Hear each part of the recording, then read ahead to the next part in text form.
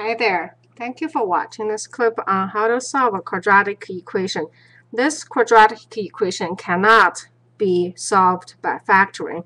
One of the ways you can check it quickly is by checking b squared minus 4ac if, if it's a perfect square. Okay. So for this case, we are actually going to use quadratic equation. Quadratic equation says solving this one is equal to minus b plus minus b squared minus 4ac, the whole thing divided by a. Okay, so I always tell my student before you plugging in using this complicated equation, what you really want to do is li list all the coefficients first. Okay, there's no reason to rush it and get it wrong. Then you don't get any points in the end. Defeats the point. So x is equal to minus b, so it's minus minus 8, which is positive 8, plus minus b squared, which is 64, then minus 4a and C. So I plug it in there and 2. Now notice I did this thing over here. It does look a little silly in that why can't I just write 8 there?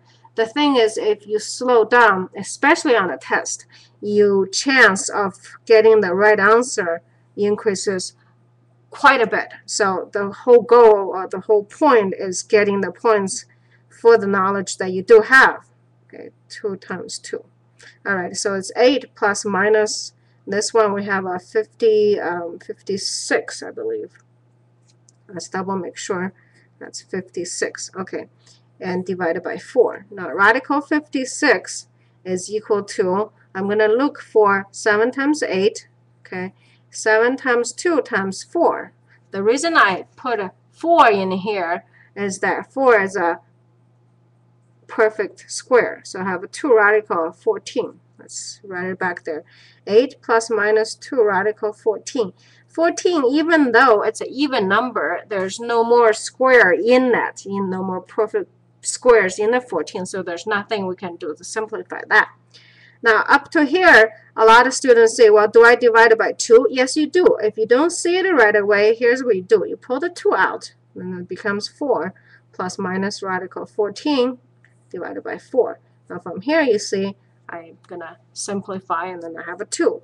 So the answer is 4 plus minus 14 divided by 2. Okay, so this is x. So I have two roots, 4 plus radical 14 divided by 2 and 4 minus radical 14 over 2.